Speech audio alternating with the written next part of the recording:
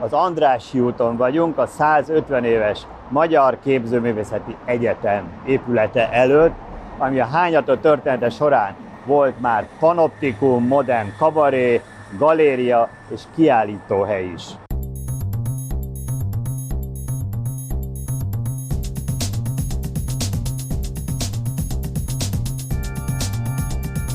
A díszes palotát a Magyar Képzőművészeti Társaság építette, és itt alakult meg először a Magyar Királyi Rajztanárképezde és Mintarajztanoda. 2000 óta pedig ez a Magyar Képzőművészeti Egyetem.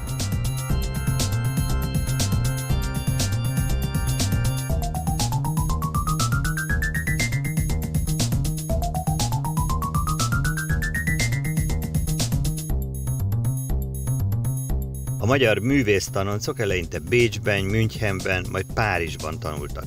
Voltak ugyan sikertelen hazai próbálkozások, de végül 1861-ben létrejött az Országos Magyar Képzőművészeti Társulat, ami tíz év után kiárta, hogy miniszteri rendelettel megalakuljon a mintarajztanoda és a rajztanárképezde.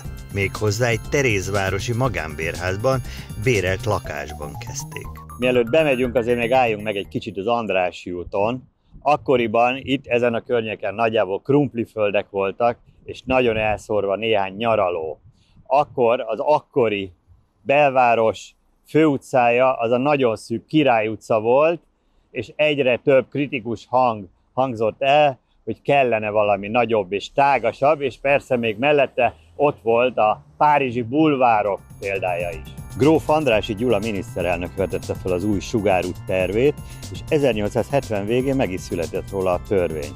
Egyszer talán egy külön egyhely is születik majd erről, most legyen elég annyi, hogy nagy akarással kezdődött, aztán volt gazdasági, hitel és kormányválság, meg tulajdonosi csőd, így a sugárút három különböző alakban és formában épült ki. Az első szakasz az oktogonik tart, zárt sorú, három-négy emeletes díszes épületekkel, ezt még központilag finanszírozták az operával együtt. A középső szakaszt a Kodály köröndig már magáncég építette, alacsonyabb épületekkel, de még mindig zárt sorban, Sőt, itt van ez a két szervízút fasorral, ami a kikocsizóknak és a kilovaglóknak épült így.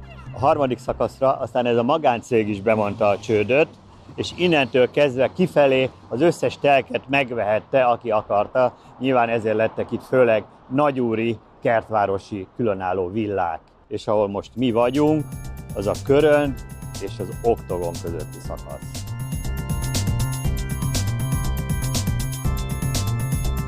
tanoda hamar kinőtte a bérelt lakásokat, macerás volt a gipszmintákat, formamásolatokat is ide-oda cipelni, önálló épület kellett. 1874-ben itt még üres telkek voltak, amikor a képzőművészeti társulat rögtön két telket is kapott itt a fővárostól.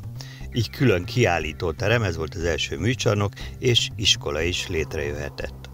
Az építkezést 1875-ben közadakozásból kezdték meg a nyertes Láng Adolf tervei alapján, és a képzőművészeti terméskő palota annyira neoreneszánsz, hogy kifejezetten egy veronai palazzo mintájára épült. Ez volt az első műcsarnok, a magyar képzőművészek első kiállítóhelye. Az épületnek két bejárata van, most mi ott jöttünk be, amit egyébként nem használnak, ez a palotának az előtere, ahol állunk, gazdagon stukkózott oszlopok, márványozás, és innen juthatunk tovább a szintén elegáns, kicsi, de elegáns lépcsőházba. Itt egyébként nem véletlen ez a félhomály, mert a mögötte lévő korábban nyitott teret egy galéria céljára később lefették.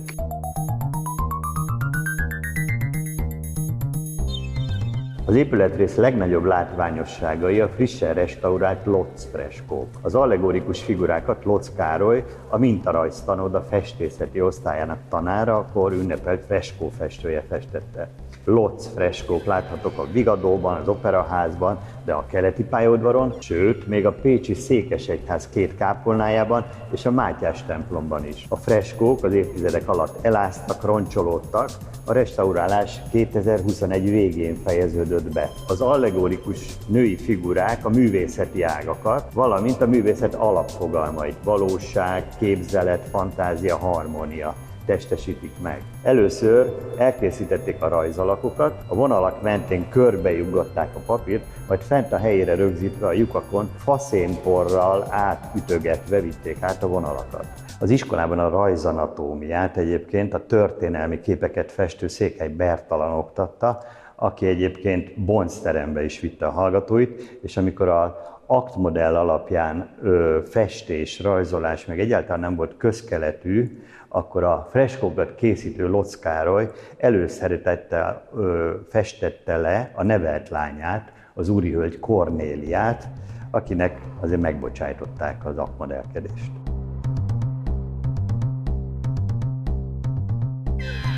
Ez volt tehát az első műcsarnok, a Magyar Képzőművészek első kiállítási tere. Az első 20 éve alatt rengeteg kiállítást rendeztek, itt mutatta be például Munkácsi Mihály a Krisztus Pilátus előtt című festményét, de hamar kinőtték, így amikor 1896-ban a Hősök terén elkészült az új műcsarnok, átköltöztek oda. De mellette balra is van még egy épület, ide akkoriban a művészetoktatás került és ez volt az egyik első intézmény az országban, ahol nők is tanulhattak. Könyvtárban azonban még külön férfi és női olvasótermet biztosítottak, a tanároké és a vendégeké mellett, tehát összesen négy volt ebből. Ezen belül már jóval egyszerűbb és funkcionálisabb lett a belső, kivéve a lépcsőházi korlátokat. Már a két épület összenőtt, a tanodát egyébként az első emelet magasságában díszes, aranyozott grafittok díszítik, és medalionok, amik híres építészeket, szobrászokat,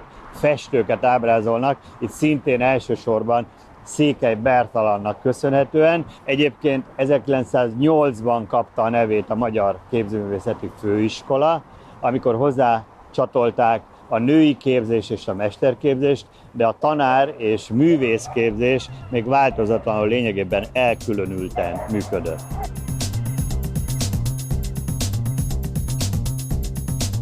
De van itt más is, ahol most a bábszínház működött, ott valaha plastikon néven egy viaszfigura panoptikum működött a Millennium egy-két évében. Volt itt Rákóczi Ferenctől a névadó Andrási Gyulán át lengén öltözött hárem hölgyekig, meg egy akkor aktuális rablógyilkosság berendezett helyszínével minden. Ez tönkrement, és a helyére egy kabaré került, ahol először a művészeti vezető Heltai Jenő és Molnár Ferenc volt, aztán igazán csúcsra ezt a kabarét Nagy Endre járatta 1908-tól. Aztán 1945-től itt nyílt meg újra a Magyar Képzőművészeti Főiskola, alul pedig a Bábszínház.